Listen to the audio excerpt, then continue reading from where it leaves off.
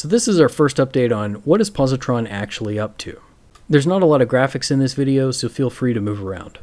So first, two quick updates. The package formerly known as MacroSlides has been renamed to DSlide. That package is getting ready to publish. I've got the PR up for Melpa, and I'm adding some changes that are going to take it from being kind of like a tech demo into something that's mature enough to use every day. I released a short video, I'll call it our vision statement, and in that video I talk about our product design is roughly complete and that our early process is already underway. So that's what I want to update you on in this video. But to frame this conversation, I wanted to bring up an idea of depth versus breadth in open source development, and then talk about some of the bigger opportunities in Emacs, and then how we can have some of these big, nice, shiny things.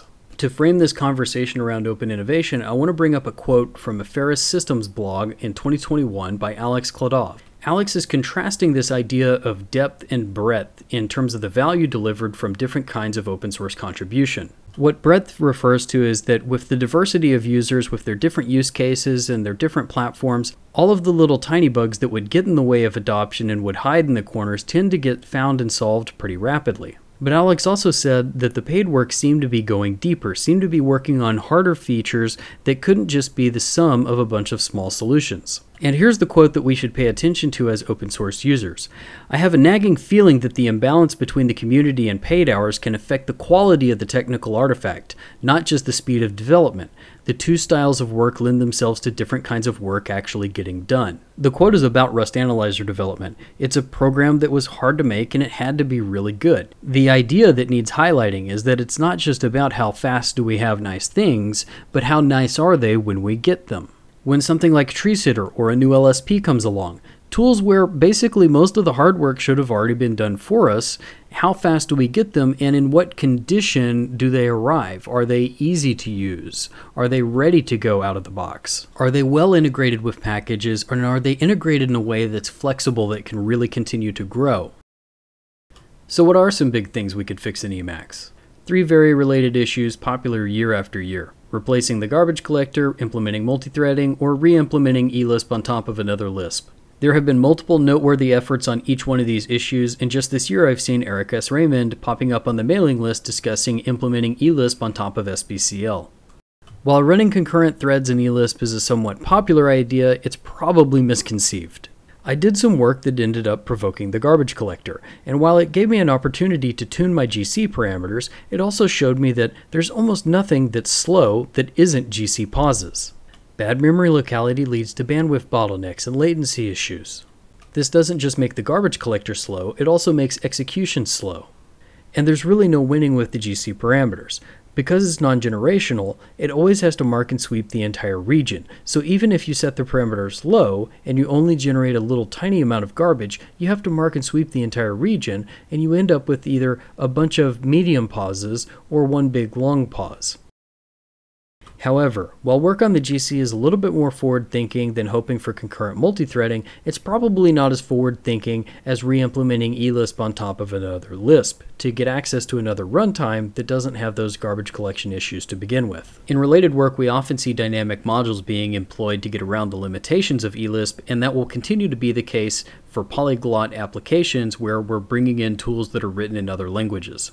In terms of integration headaches, improving our dynamic module support definitely offers the most flexibility for package developers and maintainers, but it has the most overhead for users because they have to obtain these binaries, and as we've seen with packages like Treesitter, it can take some time for the infrastructure to catch up. We could mitigate a lot of this cost of obtaining these binaries by using tools like Nix and Guix that are very platform and OS agnostic, but then we would have to wrap that tool and make it nice for Emacs. The big thing we need to add to this list is an LLM tuned on Emacs. We need to take the lowest cost LLMs, tune them on things like the mailing list, the manual, the Git history, and all of the eLisp in all of the packages. And we need to distribute the weights and make it easy to run these locally and have a manual in every single language that is natural language queryable that can generate examples and can answer deeper questions about code, and especially not just the eLisp code or even a modified eLisp if we move over to another runtime, but also the C code and the C interfaces necessary to write dynamic modules. And then the first thing that we do is we reinvest the productivity and make it just like everything else in Emacs, a programmable part of the interface. So like I mentioned in the short video, we do have a completed product design. I've got an Emacs client and a backend that's under development. The first feature that I want to ship is actually the funding format. And the reason I want to ship it is because it's actually feature complete in a way.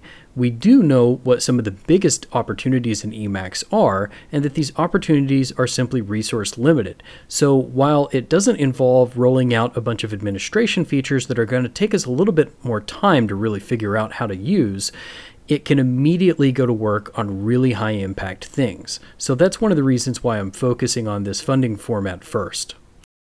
So while I hope to ship that soon, we can actually already start bootstrapping both the administration and the funding on top of GitHub sponsors. Administration has two key parts. We want to prioritize what are we spending money on, and we want to review what was the value delivered from these outputs.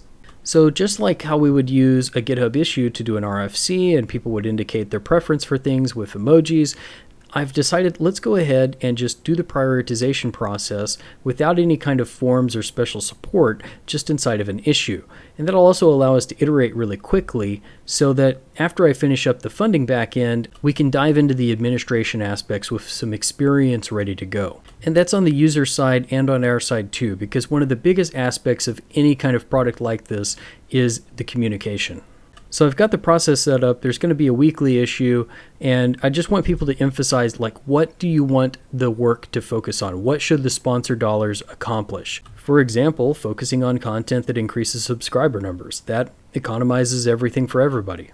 Right now, I'm mainly splitting time between the backend features and dslide, but if enough sponsors showed up and the signal was very clear, I would definitely work on the backend full time. So again, while I'm doing this because GitHub sponsors is not ideal, with enough likes and shares and subscribes, we can bootstrap our way out of this.